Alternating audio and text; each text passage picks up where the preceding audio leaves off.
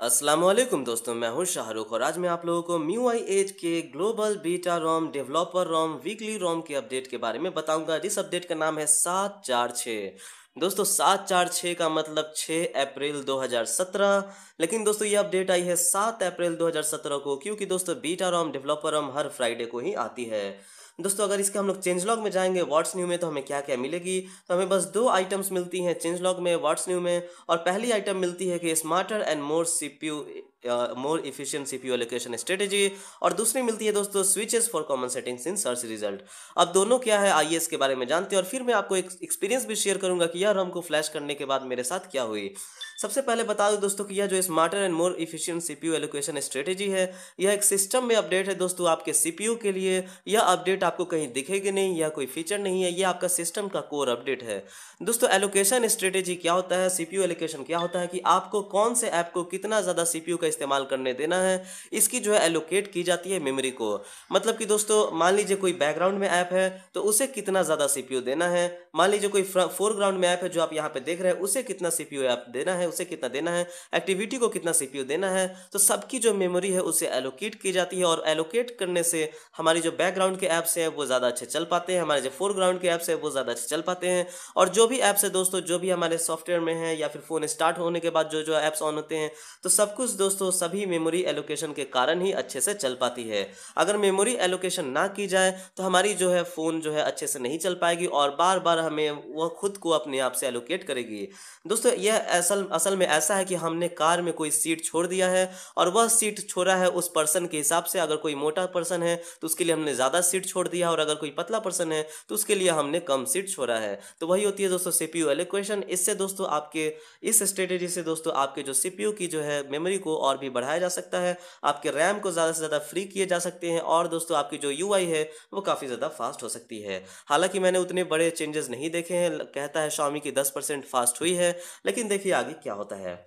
उसके बाद जो दूसरी अपडेट है दोस्तों, वो है switches for common settings in search result यह क्या है दोस्तों तो अगर आप सेटिंग्स में जाएँगे सेटिंग्स में जाते हैं अगर आप तो यहाँ पे जो आप सर्च बार देख रहे हैं, यहाँ पे अगर आप कुछ भी सर्च करते हैं तो वो तो सेटिंग आती है। मान लीजिए मैं सर्च करूँ रीडिंग मोड तो दोस्तों रीडिंग मोड तो सेटिंग आएगी, लेकिन पहले जो है यहाँ पे यह जो स्विच बटन है, ये नहीं आती थी। यानी कि दोस्तों, अगर आपको रीडिंग मोड इनेबल करना होता था तो यहाँ पे सर्च करके फिर रीडिंग मोड में जाते थे, फिर यहाँ से इनेबल करना होता था।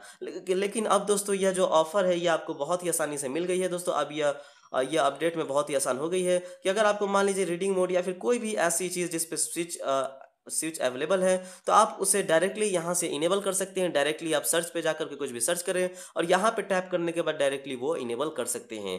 तो ये भी काफ़ी आसान हो गई है दोस्तों, काफ़ी आसान हो गई है आपको चलाने के लिए। सेटिंग्स में भी आपको ज़्यादा ढूँढने की ज़रूरत नहीं है। दोस्तों, एक और अपडेट आई है, वो अपडेट आई है डेट एंड टाइम में। अगर आप सेटिंग्स में जाएँगे एडिशनल सेटिंग्स में जाएँगे डेट एंड टाइम में जाएँगे तो यहाँ पे जो ऑटोमेटिक टाइम जोन है, अगर आपको ऑटोमेटिक टाइम जोन में डेट सेट करना है टाइम सेट करना है, और टाइम जोन सेट करना है तो यहाँ पे अगर आप टैप करते हैं तो टाइम जोन यहाँ पे सेलेक्ट करना पड़ता था। और सेलेक्ट करने के लिए आपको बहुत ही ज़्यादा ढूंढना पड़ता था कि फाइव थर्टी कहाँ है इंडिया के लिए, या फिर अगर आप किसी और देश से हैं तो वो कहाँ है कहाँ है, बहुत ही ढूंढना पड़ता था। लेकिन अब दोस्तों, आपको उतना करने की ज़रूरत नहीं है, आपके पास बहुत सारे ऑप्शन मिलते हैं। यहाँ पे जा करेंगे दोस्तों तो यहाँ पे मिलेगा शॉर्ट अल्फाबेटिकली यहाँ पे मिलेगा शॉर्ट बाई टाइम जोन और अगर वो भी नहीं पसंद है दोस्तों तो आप डायरेक्टली यहाँ पे चूज़ कर सकते हैं। अगर आपको पता है आपका टाइम जोन क्या है, जैसे इंडिया के टाइम जोन है फाइव थर्टी चेन्नई कोलकाता। तो यहाँ पे देखेंगे दोस्तों कलकत्ता बैंगलोर आ जाएगी फाइव थर्टी लिखने से। या फिर आप चाहें तो डायरेक्टली कोलकाता बैंगलोर लिख सकते हैं। अगर आप कोलकाता बैंगलोर लिखेंगे तो भी आ जानी चाहिए। लेकिन देख रहे नहीं आ रही क्योंकि दोस्तों यहाँ पे जो आ, देख रहे हैं यहाँ पे जो है बैंगलोर दी हुई है लेकिन कोलकाता की जगह कलकत्ता दी हुई है, कलकत्ता भी नहीं दे रही है हाँ कैलकत्ता दी हुई है सी ए एल कैलकत्ता। दोस्तों, इस तरह से जो है टाइम जोन भी आप सेलेक्ट कर सकते हैं और टाइम जोन भी सेलेक्ट करने का फीचर ही कुछ हद तक अच्छा है। अब दोस्तों, मैं आप लोग को एक चीज़ बताना चाहता हूँ कि इस अपडेट के साथ क्या हुआ है। यह जो अपडेट आज सुबह में रिलीज़ हुई तो सुबह में अपडेट यह रिलीज़ होते ही सभी फ़ोन्स के लिए अवेलेबल कर दी गई बिना कोई चेकिंग किए। तो दोस्तों, उस वक्त जो है रेडमी नोट फोर के लिए भी ये अपडेट आ गई थी। दोस्तों, लेकिन अब मैं देखता हूँ, उस वक्त मैंने डाउनलोड पर लगा दिया था, मेरा अपडेट डाउनलोड भी हो गया, मेरा अपडेट भी हो गया। लेकिन अब जो मैं देखता हूँ दोस्तों कि अब लिखती है यह फोरम पे कि update for M I five M I Max और रेडमी नोट फोर सस्पेंड कर दी गई है फिर से। पिछले हफ़्ते भी सस्पेंड हुई थी और इस हफ़्ते भी सस्पेंड कर दी गई है। लेकिन दोस्तों सस्पेंड होने से पहले मुझे ये अपडेट मिल गई, इसलिए मैं आप लोगों को यह वीडियो बना बना चुका हूँ। अब दोस्तों ये सस्पेंड क्यों की गई है? तो सस्पेंड इसलिए की गई है तो क्योंकि गूगल प्ले में इशू है। और ये इशू वही है दोस्तों एकदम सेम सेम इशू है, जो कि हमने यहाँ पे देखा था माई एप्स एंड गेम्स में वाइट वेटिंग फॉर वाईफाई वाला। वाईफाई से कनेक्टेड हो दोस्तों, फिर भी कुछ भी डाउनलोड नहीं होता। वेटिंग फॉर वाईफाई लिखा रहता और इसका फिक्स जो है, उसकी मैं वीडियो बना चुका हूँ। लेकिन वो भी टेम्पोररी फिक्स है, वो भी परमानेंट फिक्स नहीं है। टेम्पोररी फिक्स है दोस्तों, अगर उसे देखना है तो आप वहाँ पे मेरे चैनल पे चेक कर लें। अब दोस्तों, एक और चीज़ मैं बता दूँ कि एक और चीज़ें फिक्स हुई हैं। अगर आपको नहीं पता था दोस्तों तो पिछले अपडेट में क्या हुई थी? कि स्लो मोशन जो कैमरा है वो काफ़ी ज़्यादा अटक अटक के चलती थी, जो मैंने चेक की है, अब वो सही हो गई है। अगर आप मोड्स में जाते हैं, यहाँ से स्लो मोशन एक्टिवेट करते हैं तो पहले जो है ये स्लो मोशन कैमरा काफ़ी ज़्यादा अटकती थी और किसी भी काम के लायक नहीं थी। तो दोस्तों, यह जो स्लो मोशन कैमरा इसे भी फिक्स कर दिया गया है, अब ये नहीं अटकती है और काफ़ी अच्छे से ये काम कर रही है। और भी दोस्तों, एक और चीज़ मैंने गौर किया है कि जो फिंगरप्रिंट स्कैनर है, अब काफ़ी हद तक बहुत ही अच्छा हो गया है, पहले से भी अच्छा हो गया है। यानी कि दोस्तों, पहले जो है फिंगरप्रिंट स्कैनर ऐसा था कि एक बार टैप करते थे तो उसके बाद पहले स्क्रीन जलती थी, फिर दोबारा खोलते थे, तब जाके खुलती थी। लेकिन अब दोस्तों, अब हम लोग टैप करेंगे तभी खुल जाएगी और दो बार हमें दो स्टेप में फिंगरप्रिंट स्कैनर खोलने की ज़रूरत नहीं है और ये काफ़ी फास्ट हो गई है दोस्तों।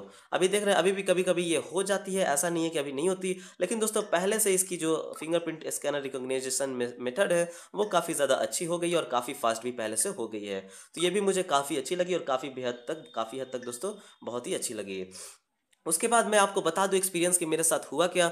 मैंने जब ये अपडेट कर लिया दोस्तों ऐप तो मैं अपडेट करके चला गया था और जब चला कर प्रे फ्राइडे का प्रेयर करने चला गया था और जब मैं दोस्तों प्रे करके आया तो प्रे करके देखता हूँ कि मेरी जो फ़ोन है, वो ऑटोमेटिकली सेफ़ मोड में खुली हुई है। यह फ़ोन जो है दोस्तों सेफ़ मोड में खुली हुई थी, जिसमें कोई भी ऐप नहीं थी, बस यहाँ तक ऐप्स थे, यहाँ तक मोर ऐप्स तक मी स्टोर तक ऐप्स थे, उसके बाद कोई भी ऐप्स नहीं थी सेफ़ मोड में थी बिल्कुल। मैं डर गया कि लगता है मेरा सारा का सारा सॉफ्टवेयर डिलीट हो गया, लेकिन फिर मैंने पावर बटन को दबाए रहा, फिर रिबूट किया तो यह जो सेफ़ मोड से हट गई। लेकिन जैसे ही रिबूट किया, दोस्तों तो जानते हैं क्या हुआ? अचानक से यह हुआ कि मेरी जो फ़ोन है, वो बिल्कुल ही काम नहीं कर रही थी, टच वगैरह कुछ भी काम नहीं कर रही थी। दोस्तों, ये जो है रेडमी नोट 4 में शायद बग है। अगर आपने अपडेट कर लिया है अभी तो आप अगले हफ़्ते का वेट कर ले, उसके बाद यह जो है ठीक हो जाएगी। क्योंकि दोस्तों, अभी भी मैं जब भी इस फ़ोन को रीस्टार्ट कर रहा हूँ तो रीस्टार्ट करने के बाद कभी कभी ऐसा हो रहा है कि यह जो फ़ोन है बिल्कुल ही काम नहीं कर रहा है और मुझे दोबारा से इस फ़ोन को रीस्टार्ट करना पड़ रहा है। और यह दोस्तों एक बग है, यह बग है जो कि अभी तक सॉल्व नहीं हुई है। आइए देखते हैं कि अभी यह क्या फिर से दोबारा से काम करना बंद करती है या नहीं करती है। तो दोस्तों, ये जो अपडेट है, ये सिर्फ़ और सिर्फ़ अभी तक आई है। बाकी सभी डिवाइस में Redmi Note 4 को छोड़ करके, Redmi One S को छोड़ करके, Mi 5 को छोड़ करके, Mi Max को छोड़ करके। अगर आप है Mi Max पे, Mi 5 पे, Mi Max thirty two G B sixty four G पे, Redmi Note 4 पे, Redmi Note 4X पे, और अगर आप है Redmi One S पे भी तो ये अपडेट आपको नहीं आई है। आपको अभी भी वेट करना पड़ सकता है अगले हफ़्ते के लिए या फिर उसके बाद के लिए। और दोस्तों, ऐसा कहता है कि Mi 5 में तो यह नोगट का टेस्टिंग उसमें भी हो रहा है स्टेबल में तो आप लोग उसका भी वेट कर ले और रेडमी नोट फोर की भी जो नोगट जो है आ जाएगी एक दो महीने में।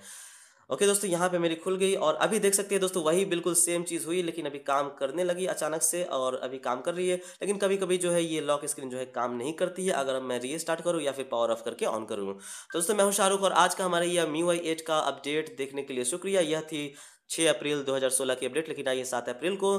तो हमारे ये वीडियो देखने के लिए शुक्रिया। हमारे चैनल को सब्सक्राइब कर लें और हमारे वीडियोस पर लाइक एंड कमेंट करें। Thank you.